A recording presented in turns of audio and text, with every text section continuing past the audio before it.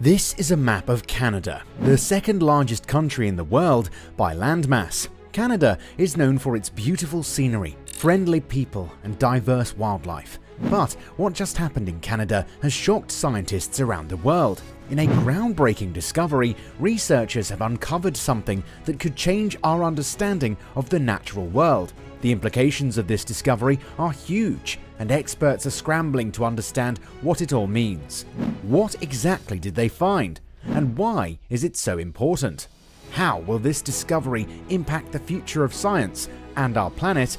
Stay with us till the end to find out. Canada is often overlooked, but this second largest country in the world has a lot to offer. From stunning natural landscapes to vibrant cities, Canada has it all. While most of the country is uninhabited due to its unsuitable geography, the livable regions near the United States border are bustling with activity. With 10 provinces and 3 territories, Canada has a little something for everyone. While the provinces exercise constitutional powers, the federal government rules the territories. Canada's geography is vast and varied, from the chilling influence of its northern latitude to rainforests, cacti, and places where snow rarely falls.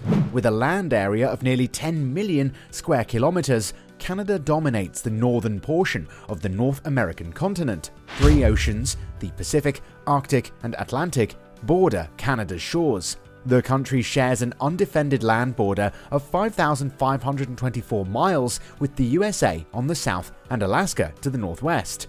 Because of Canada's enormous size, the mountains easily merge with the gently rolling hills of the interior plains and the Arctic tundra. Canada's diverse physical environment ranges from the quiet coves and beaches of the Atlantic provinces to the fertile grasslands of central Canada's prairies. Numerous lakes dot the rocky cradle of the Canadian Shield, where animals vastly outnumber the people. However, Canada's population is around 31 million, which, considering the vast land area, gives Canada one of the world's lowest population densities of about 8 people per square mile. People worldwide have been drawn to Canada because of its enormous resource base to explore and settle in this land of abundance. Diverse peoples sprinkled throughout the varied landscapes offer a season for Canada's colourful heritage and history. Populated historically with native populations, early cultures could take advantage of Canada's blessing of abundant natural elements. Fish, whales, buffalo, and other forms of wildlife were life-sustaining resources. Numerous water routes eased travel and provided access to the country's interior and additional resources. The cities of Canada are just as impressive as their natural wonders. Toronto, Vancouver, and Montreal are a few vibrant cities offering a unique blend of culture, history, and modernity. Canada is one of the richest nations in the world thanks to its abundance of natural resources. With abundant minerals, oil, and gas, Canada is a major energy producing superpower of the 21st century. The prairie provinces of Alberta, in particular, is home to some of the American continent's greatest oil and natural gas deposits. Canada also has the world's greatest proven oil sands, or bitumen reserves. This fact and traditional petroleum reserves solidify Canada's position as the world's second most oil rich nation, behind only Saudi Arabia. Furthermore, mineral deposits can be found in almost every province and territory of Canada except for Prince Edward Island. The types of minerals mined vary from province to country, with zinc being one of the leading minerals mined throughout most of the country. Potash, uranium, nickel, copper, iron, coal, gold, and diamonds are plentiful throughout Canada. Canada also uses six different time zones, and they're more than just named after directions like north, south, east, and west. Nope, they've got some unique names like Newfoundland, Atlantic, Eastern, Central, Mountain, and Pacific. Daylight Saving Time, DST, also plays a role in Canadian timekeeping, and if you're wondering what the names of the time zones are during DST, they change too. For example, Eastern Standard Time, EST, becomes Eastern Daylight Time, EDT.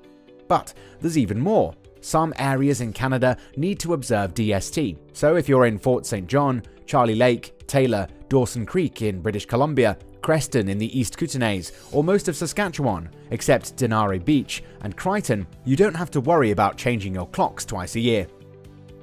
Let's take a closer look at the land features of Canada.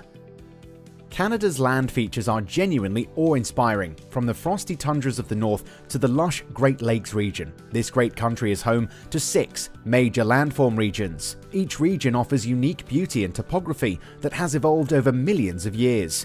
The Atlantic Provinces region, beginning in the east, is home to undulating hills and valleys with dispersed farms and fruit orchards. New Brunswick, Nova Scotia, Prince Edward Island, and Newfoundland are all part of this charming patchwork of lush terrain, except when deep fog creeps in from the sea to shroud the bays and beaches, which happens more than 200 days per year in certain villages. In Newfoundland, broad vistas of woods and rocky, indented coastlines are visible.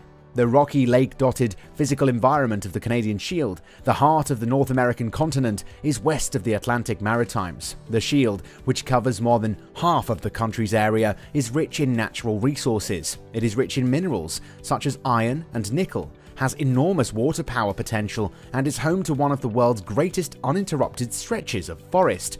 Most travel in the Shield region must be done by air, putting Canada's legendary bush pilots and their robust workhorse planes to the test. In the Great Lakes, St. Lawrence Lowlands region, you will find the world's largest body of freshwater, the five Great Lakes, which are linked to the Atlantic Ocean by the St. Lawrence River.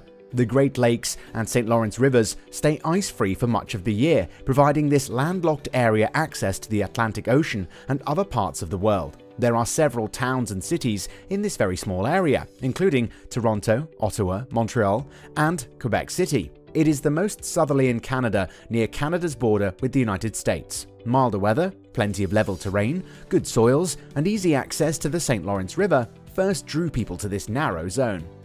The Canadian Shield to the east and the Canadian Rockies to the west border the vast expanse of virtually flat grassland that makes up the interior plains. This region's grasslands are home to buffalo, antelope, and coyotes, providing a wealth of resources for farmers and ranchers. Ancient Lake Agassiz, formed from glacial melt, covered parts of Saskatchewan, Manitoba, Ontario, and North Dakota. The sediment left behind formed the rich soil that has supported agriculture in the region.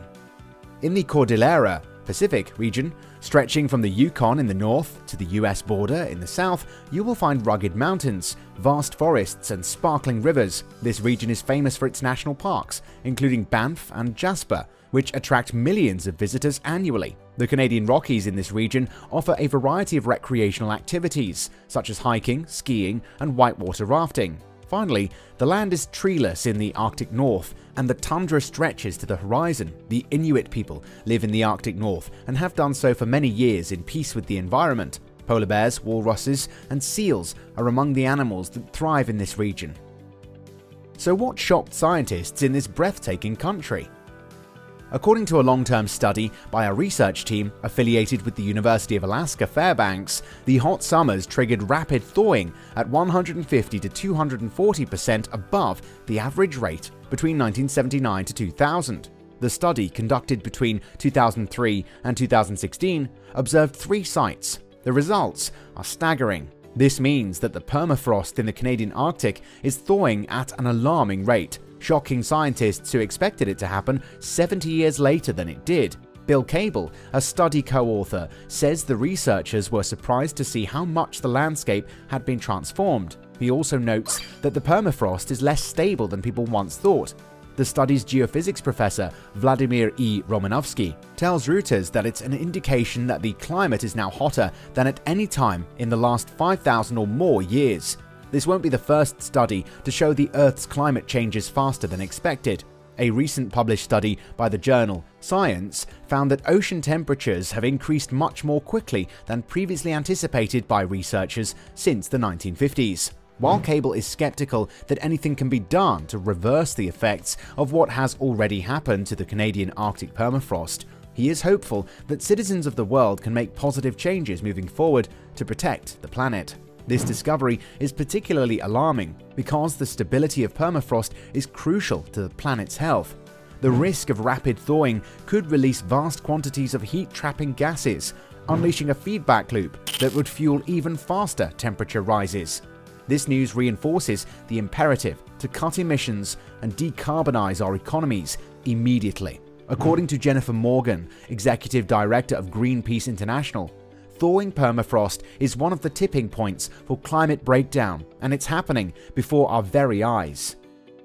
If you like this video, remember to smash that subscribe button and check out the following video we've already prepared for you on your screen.